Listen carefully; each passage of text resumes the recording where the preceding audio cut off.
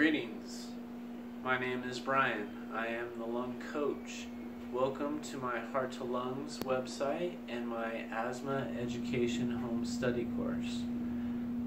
I will be overviewing ways to help manage asthma, especially for young patients, pediatric patients, children. Uh, this video is designed with parents in mind on helping you manage your child's asthma and teaching them the ways to manage it on through adolescence and adulthood. This is very important. Asthma is a very serious chronic condition that is the most number one created. It is a very serious chronic condition that affects about 7 million children in our country today. Asthma is diagnosed with over 25 million people and about 3,300 people die per year from asthma. So it is a very serious condition. And because of that, I decided to create this home asthma study course for people who can't get in and get their providers to do this education but only can go for their regular checkups, which is very important in asthma care. So if you haven't taken your child in lately, please schedule your regular appointments because that's important in helping manage their care from attack to attack, decreasing symptoms, helping them sleep, helping them perform sports and athletics, and overall quality of life for them. And I know all parents want the best quality of life for their children. So I've provided this course to help educate and help provide some helpful tips and uh, strategies on managing asthma, especially in children there's a couple of things we're going to talk about, but first I want to go over just an overview of the respiratory system and my specialty. I'm actually a respiratory therapist and I currently work in Denver, Colorado.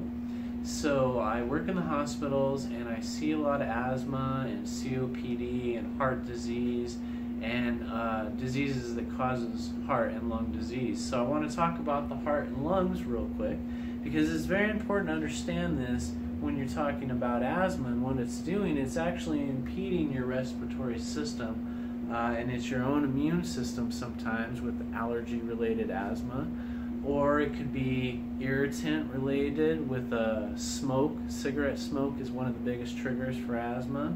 Or it could be even things like an allergy to uh, roaches. Cockroaches uh, can trigger asthma, especially with inner city children um, the, the dead bodies and feces of roaches is one of the biggest causes and triggers in pediatric or asthma attack in children. So we'll talk about that a little later, but first let's talk about your heart and lungs and why it's so important to have your airways and your heart deliver oxygen to your body. Basically, it helps provide you with energy. And a short overview of this, very, very brief an overview, uh, is you breathe in oxygen through your lungs and it's absorbed into the arteries in the lungs and vasculature. Start over.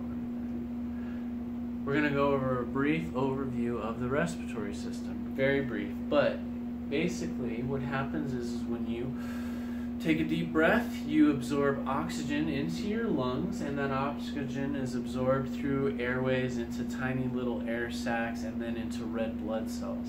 Those red blood cells travel to the left side of the heart, the left atrium. There's four chambers in the heart. We're going to start with the left atrium, and that oxygen is absorbed through the pulmonary veins to the heart and it is feeding blood into this left atrium which squeezes and blood goes into the left ventricle, the left side of the heart, still. And that left ventricle is actually the strongest part of the heart because when it squeezes, it pumps blood through the aorta to the entire body, to your brain, to your muscles, to all your tissues.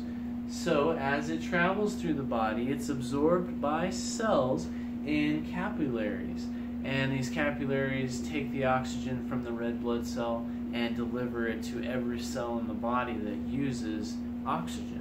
So, this is basically how we use uh, blood or oxygen from the environment into our body, into our little cells. And that's all throughout our body. And in these cells, it exchanges that oxygen and it takes back CO2 which is the byproduct of producing energy. And that CO2 is delivered through your veins back to your heart. And as it reaches your heart, it reaches the right atrium. So now we're on the right side of the heart. You have the left side of the heart and the right side of the heart. And this CO2 red blood cells are delivered to the left or right atrium, squeezed into the left ventricle. This left ventricle squeezes the blood and then delivers it to the pulmonary arteries to the lungs. And so to the lungs, it delivers this CO2 and then it changes back from the red blood cells into those little air sacs and into the bigger airways of the lungs. And you exhale CO2. So those are two very basic processes, and I want to overview this because it's very important later in a lot of the lessons, is that your body uses oxygen to produce energy and we expel CO2 when we exhale, the byproduct. Now, when this is impeded by such conditions like asthma, which is a chronic lung disease, you never get cured of it, you never grow out of it, uh, symptoms may decrease, but you still have those triggers that can create the symptoms of asthma. Now, when we talk about the symptoms of asthma, we're going to talk about spasms in these airways from the muscle constricting down. We're going to talk about mucus building up in the airway, and we're going to talk about inflammation in the airway, which is like when you get a scratch and it becomes infected or inflamed or you know any type of redness or swelling is the type of inflammation that can happen in your airways with asthma. So we're going to cover that more on the other videos, the lessons. I just wanted to introduce myself and cover the respiratory system, my specialty as a respiratory therapist and the lung coach as we continue forward in this asthma education program. Thank you and I hope you enjoy and I'll see you on the first lesson, the four components or pillars of asthma care. Thank you.